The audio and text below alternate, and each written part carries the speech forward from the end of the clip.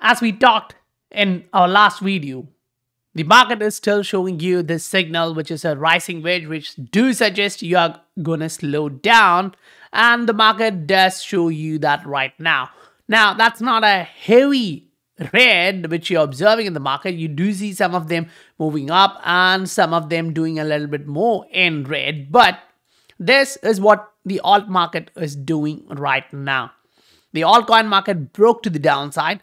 We need to actually see if the price can move back up into this range because it can actually drop further and then come back in as a positive news but most likely it can come further lower right this can turn into a support range but if you look at xrp for that matter this is on a daily and you are looking for where the money is, right? Where we can go in next two, three months. That's what we are looking at, right? So in that sense, first you are looking for like, okay, are we going to go down with the market? Most likely, yes. If so, how low do we expect this to continue? To the downside. And if we bounce, where are we going? This is what we are going to look at in today's video and then break it down to different assets as well.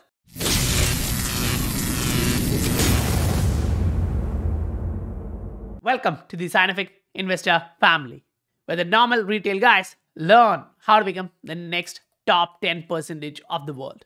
Now, yes, there is different news narrative coming from different central banks. Some of them are slowing down, which is now a little bit of trend and the news which is coming out is like okay they are playing with fire which means the inflation tolerance is what they're actually talking about even though the inflation has not dropped much they are not going heavy on the hiking cycle now there is reason for that if they do in a lot of different countries like australia where the property market has gone sky high with free money that's gonna burst, right? So these kind of narrative is gonna play in different countries like Australia, New Zealand, Canada, you know, all these places where the property market just went sky high.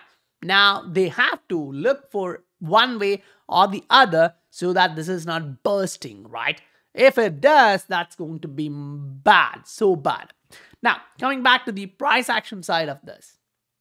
If we are looking at XRP, we can actually see, okay, there is a lot of buying and selling involved here, close to 0.37.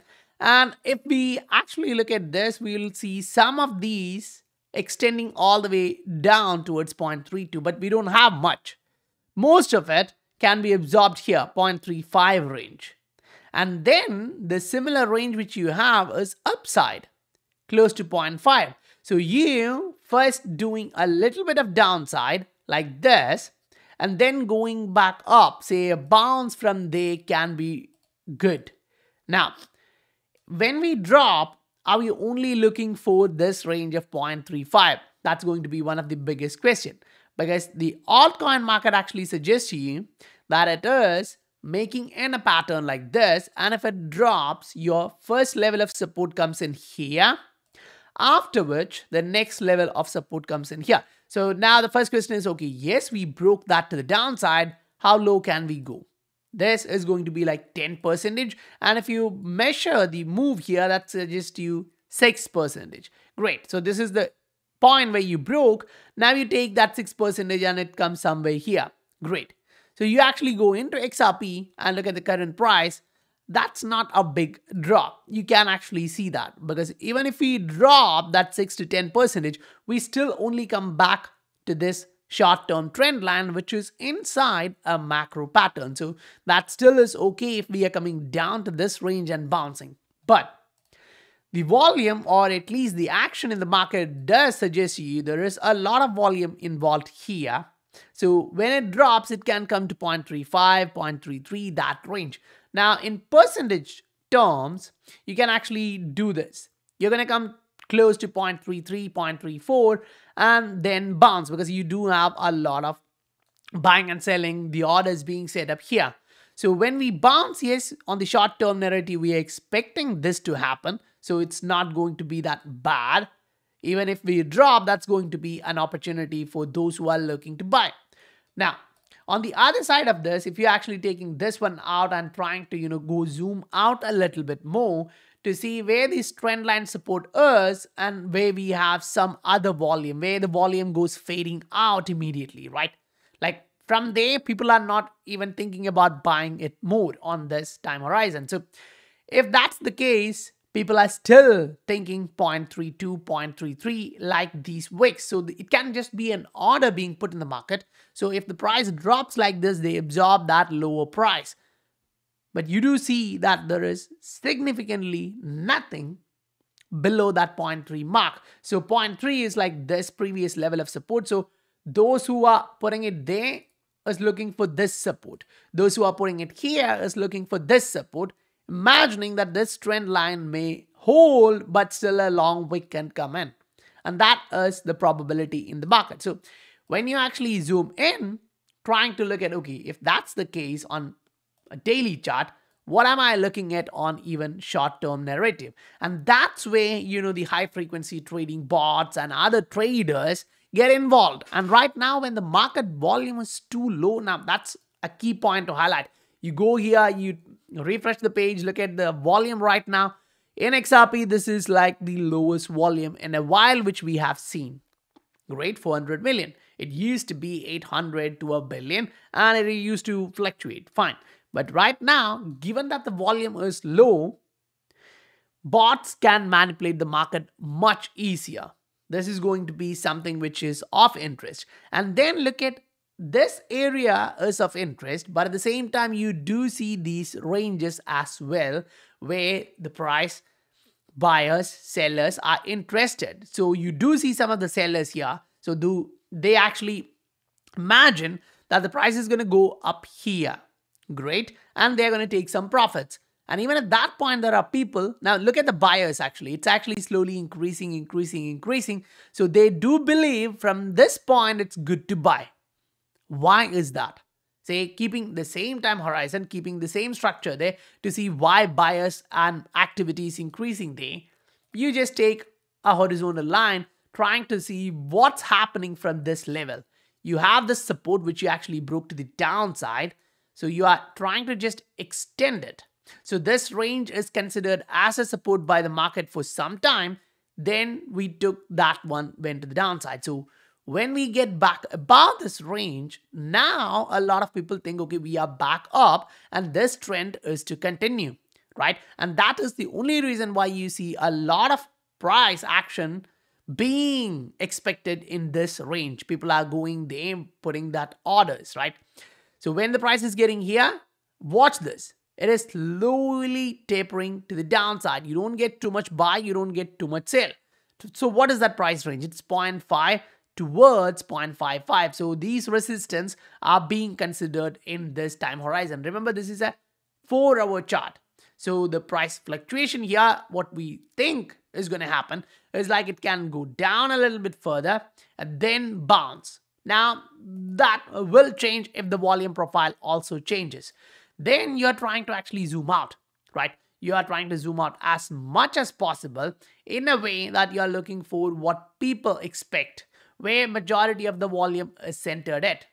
Right now it's here. And you can actually literally see a lot of volume is centered to that range of 0.5, 0.6.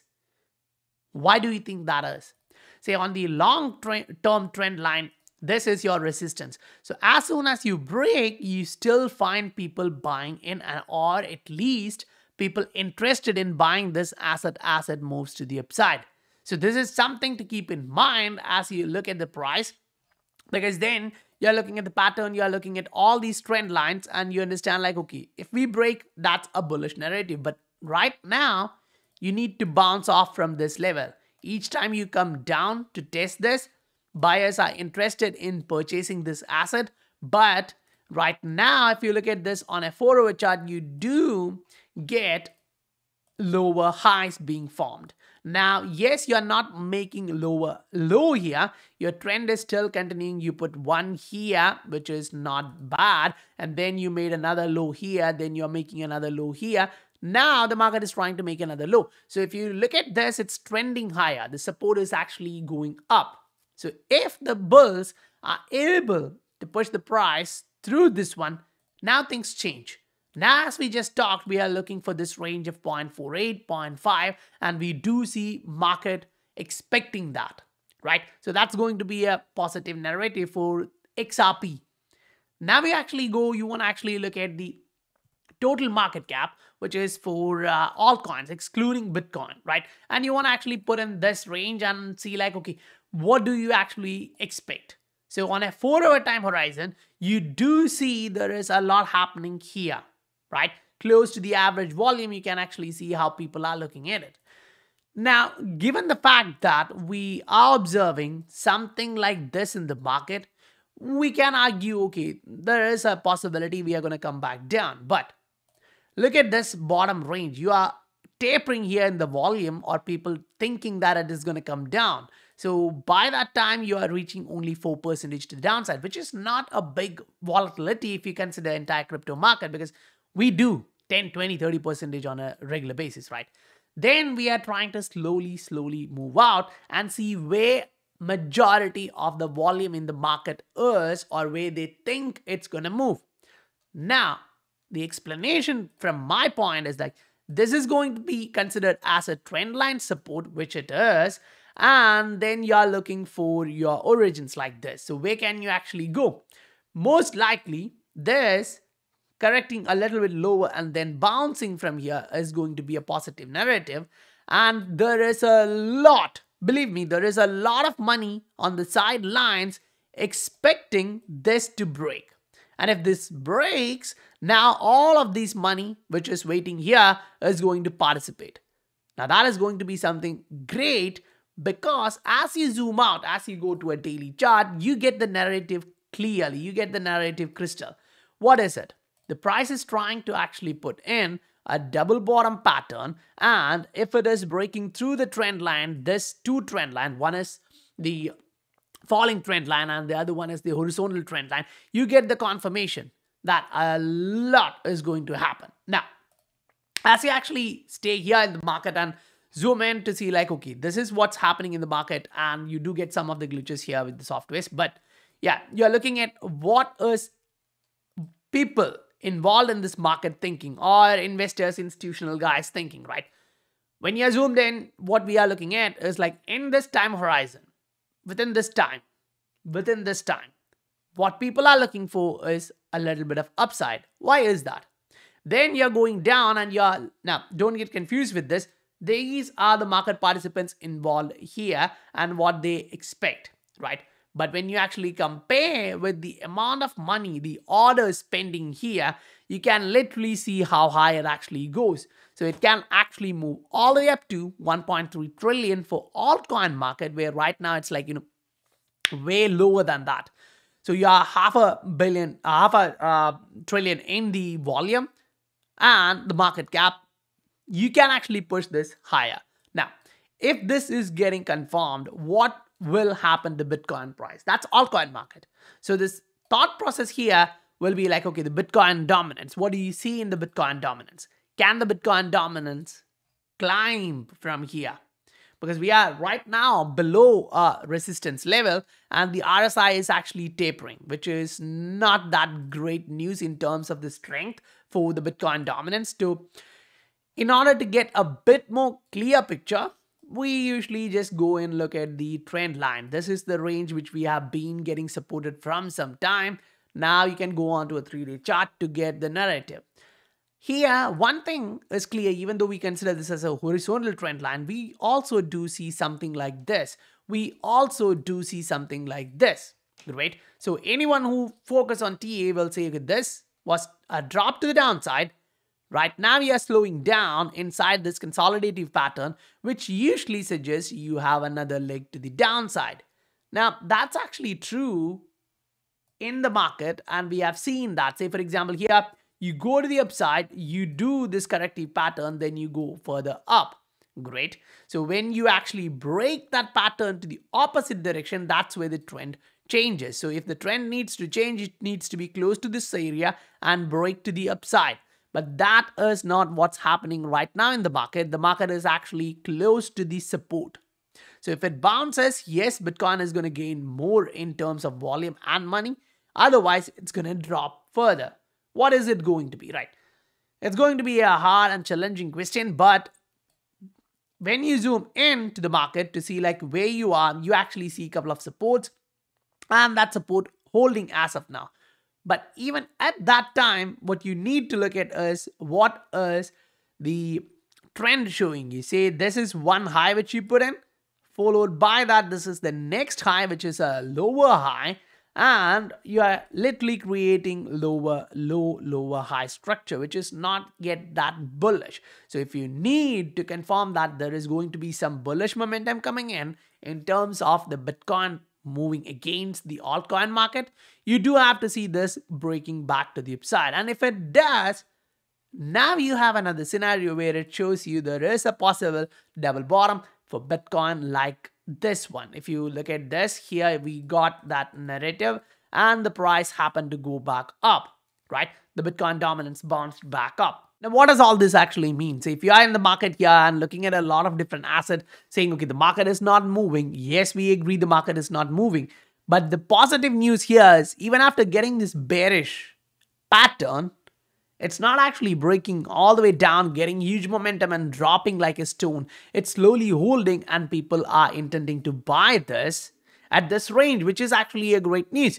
And they don't actually expect it to go much further down. A lot of people involved are here, right? And as you go up, there are people still there expecting the price to slowly grind up. So if you are in the market and looking at various different assets to understand what's happening there, then you can look at the Patreon. The link is given in the description below. And if you have three to five minutes more, you can visit my new channel and take time, watch this. It's about life, success, and wealth building. And if you have any comments, please do drop that there. I'll completely check that and do as much as possible.